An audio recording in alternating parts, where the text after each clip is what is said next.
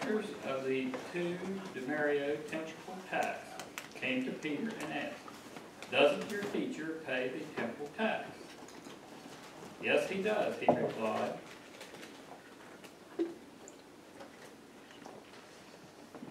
When Peter came into the house, Jesus was the first to speak. What do you think, Simon? He asked. From whom do the kings of the earth collect duties and taxes? From their own children or from others? From others, Peter answered.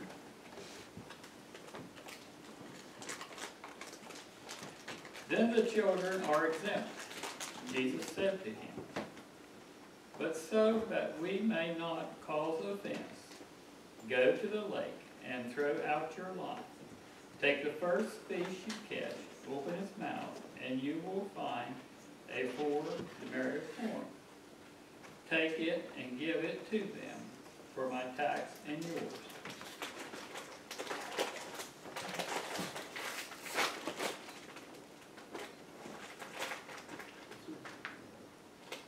Doesn't work, oh, there it is, they seem to, That is. Peter was obedient, even though his request made no sense. thank you, man. It's the word of God for the people of God. Praise be to God. Praise be to God indeed. We're gonna have Brother Willie come up. Hey, you're not gonna violate brother. And I think he wants to sing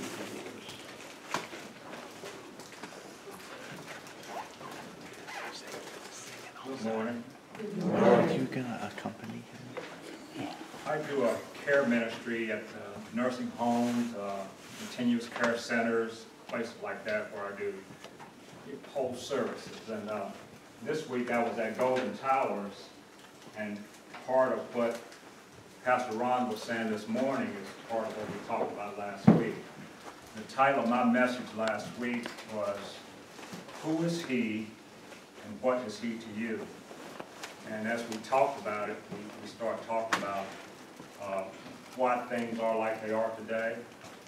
And one of the first things that came to my mind is, a lot of the trouble happened, and a lot of the trouble started happening when they took prayer out of school. Amen.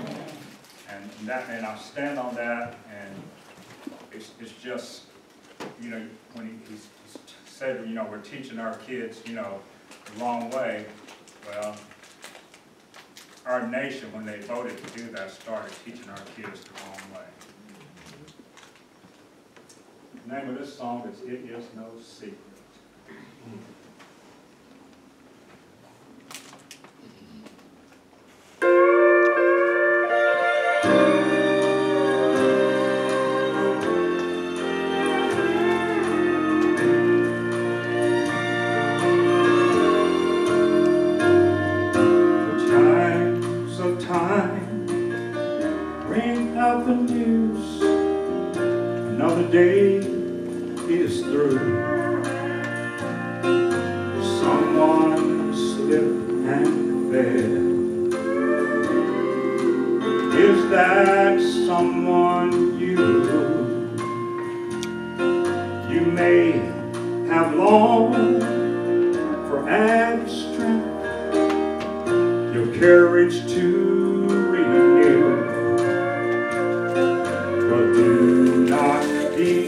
be disheartened, for I bring good hope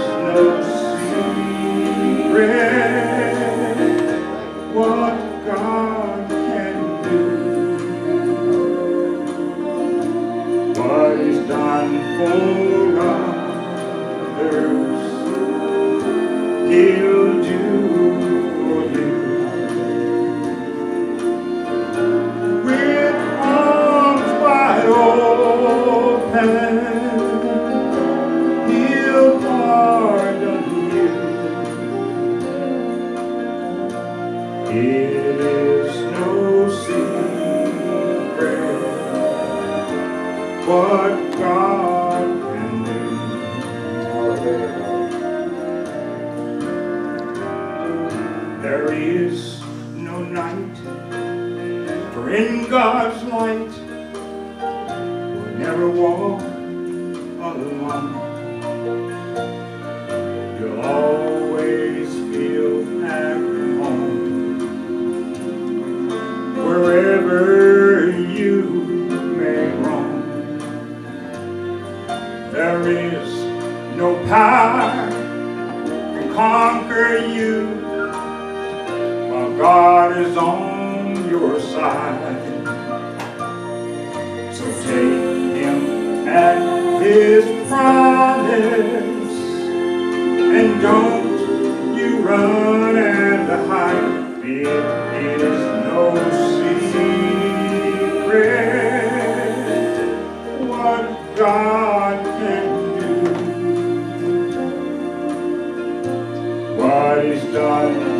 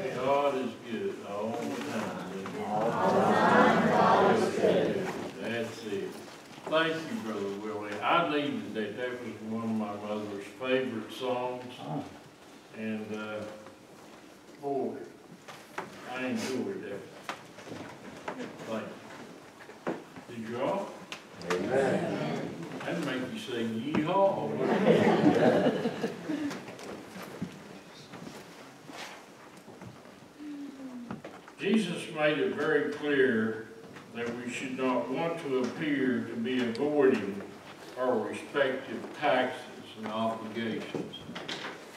He did not want them to think that he was going to shirk on paying.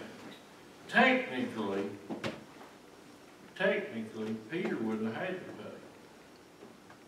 But he said, since they asked, you're not from here, go out and drop your line. There's something very, very important to remember. That they've been out ministering for about four weeks in the north. And when they got in there, they did not have a denarius. That's about a day's It's very small, not much. Small coin. Four denarii coin is about like that. And that was to cover both he and Peter. And when they went out, I'm sure they were waiting for a conflict. Because they asked, doesn't your master pay the tax? Didn't they? They were wanting a conflict. Peter knew they were broke. These guys did, were not televangelists. They didn't make as much as I do up here on the evangelistic trail of Fork Ridge. They were broke. But Peter says, my master will pay the tax. Hmm, is that faith? That's faith. We as Christians need that kind of faith. God will take care of us. It is no secret what God can do, Amen. is it? Amen.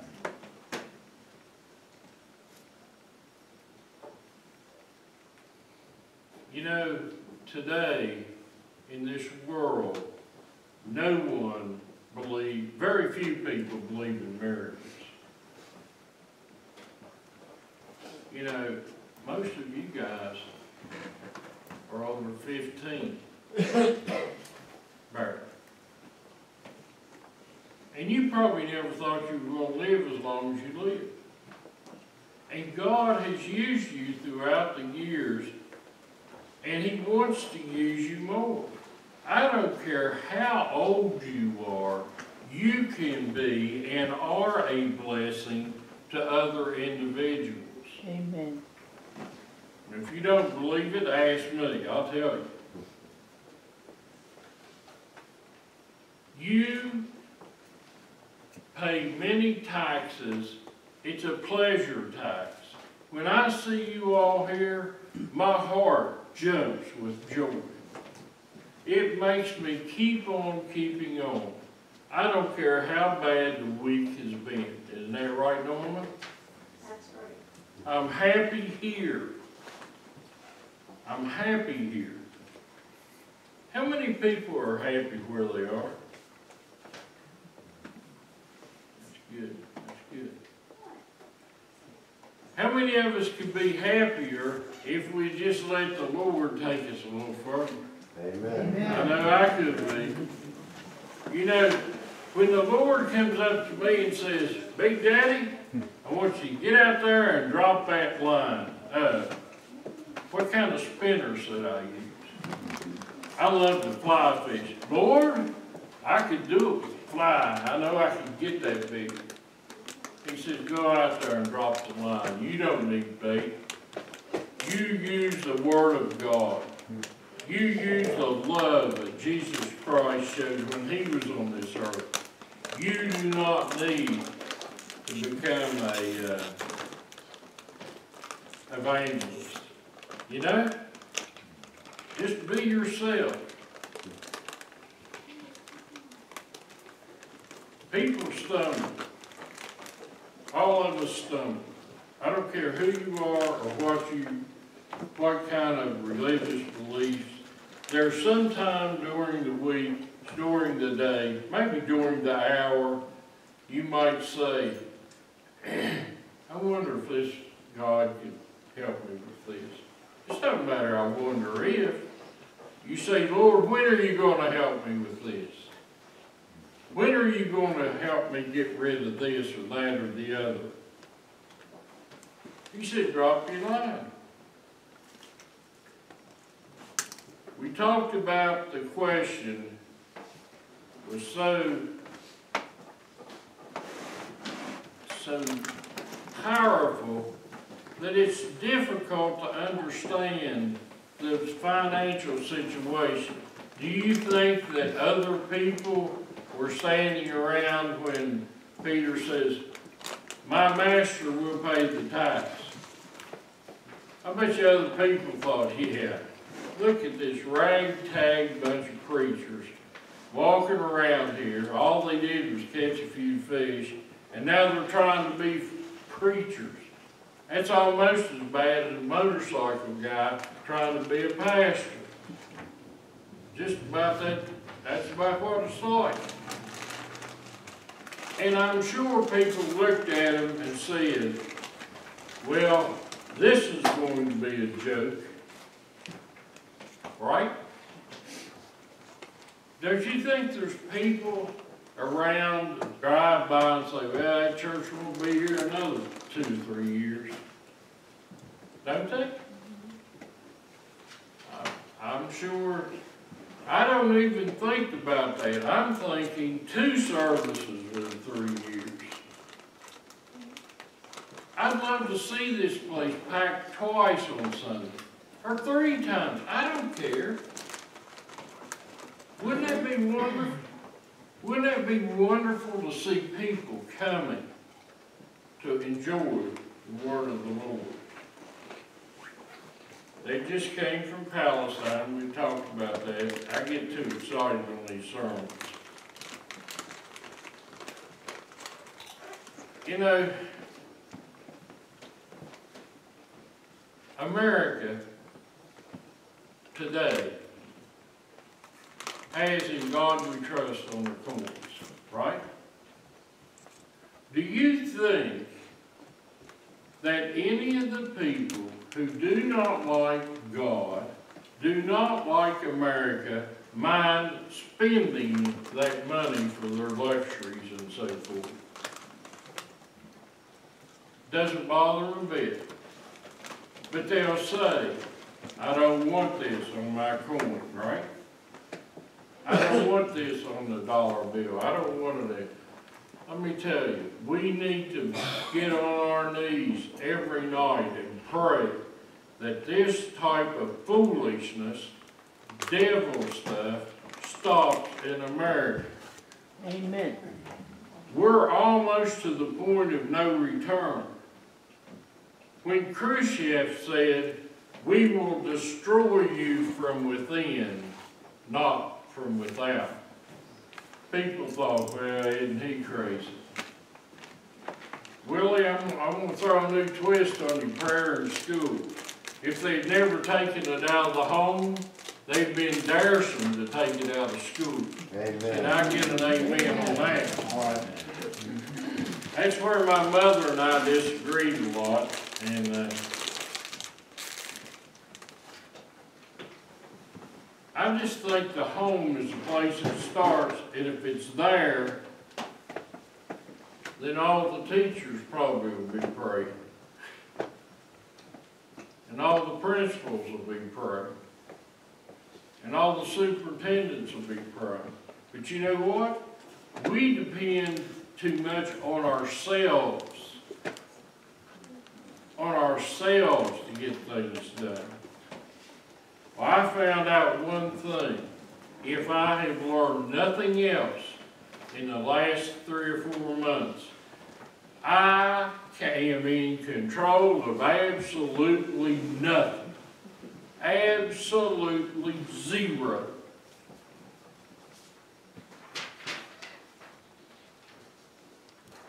But I've learned one thing. I'm not gonna miss a Sunday preaching. I'm not gonna miss time at Walmart when I get to do my walk and say, oh, pardon me, do I know you? And they say, no. I say, you should. And I tell them about the Lord. You know, it wouldn't bother me if somebody threw me out of Walmart. I'd just go back and do it again. But you know what? I've never had a manager say a word to me. Because I even talked to them. This guy said, you know what? We've had so much shoplifting, we can't hardly stand it. I said, you know what? Those people don't love God. When you get your heart right with God, you don't want to do drugs, you don't want to do anything that would hinder you as a testimony for God, do you? Amen. I'm sure I fail.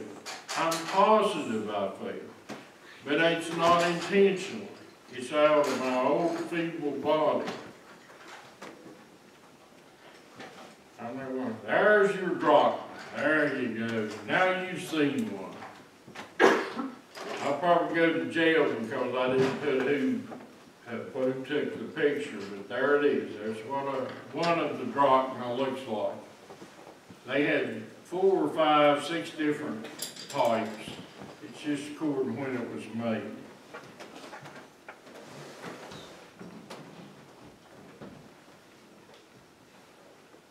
Here's something I have really thought about all week. When I had faith to drop that hook in the water and expect to catch a fish with a coin in its mouth to act, to satisfy the temple tax. When I had that much faith, now I'm gonna tell you something, it's easy to say, Yeah, I never have much faith. You're sitting on top of the hill, you're not standing by the water. And I know Brother Leonard likes to fish, don't you, Brother Leonard? And if I get up here and tell you, I'll tell you, brother, go down here and drop your hook in the water. And the first one you pull up, you're gonna have four, a coin worth four drops. You'd say, you need counseling, wouldn't you? Fish all day long. You need counseling. I'm kidding. You wouldn't, you would think I lost my mind, wouldn't you? To catch a fish, you gotta have bait, right? God, Jesus did not mention bait. He said just drop the hook.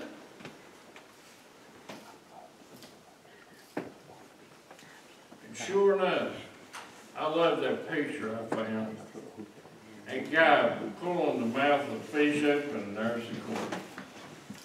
Man, that just excited me beyond repair. I thought, wow, that's something else. But you know what? God sends me and you out every day to go fishing. And you're not called to fish for fish, you're to fish for men. And that includes women.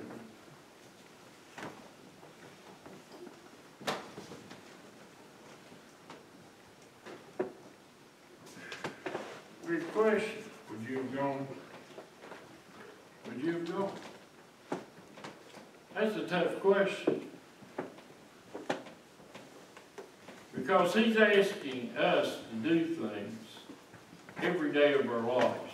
Have you ever been led to go somewhere or do something that you never thought in the wildest dreams God would want you to do? Man, that is good. That is great. That is wonderful.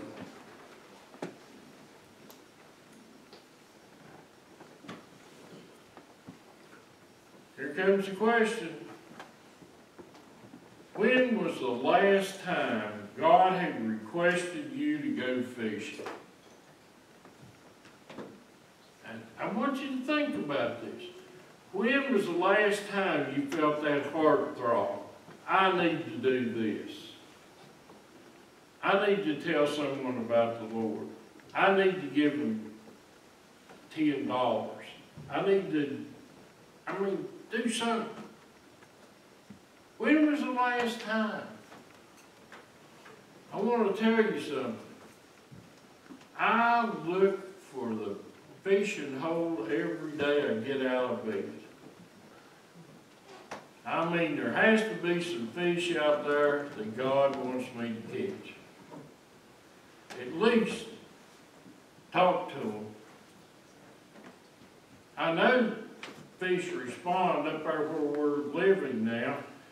I can go over to the aquarium and go like this and this fish goes. So I know they'll follow you. And no, I'm not stupid.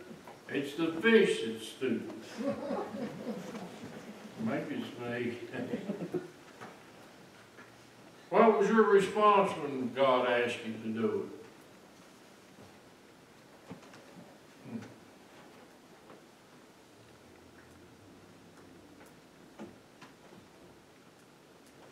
You know, uh, you might, what might you find in the fish's mouth that you're about to let get away from?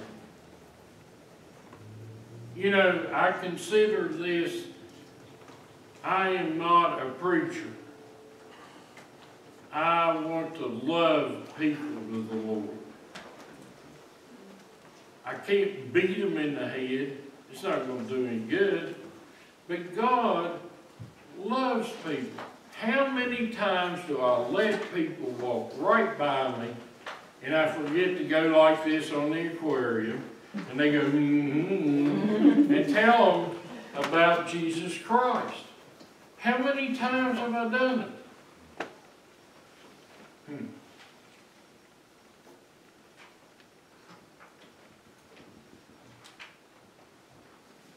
Let us go to the Lord in prayer.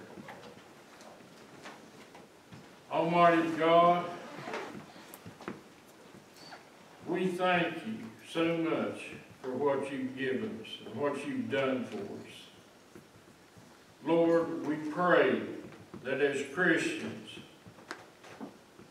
that we will not be afraid to stand for our Savior, that we will not be afraid to spread your word and be a testimony not only in word, but most of all, and more importantly, in deed, where people can see Jesus in us. If there's anyone, Lord, that needs to make a decision or rededicate their life or whatever they need to do, Lord, this is a time. Touch their hearts and speak to them. And we ask this in your holy name. Amen. If you've never accepted Christ, made a profession of faith, today's the best day to do it. Let us turn to hymn number 380.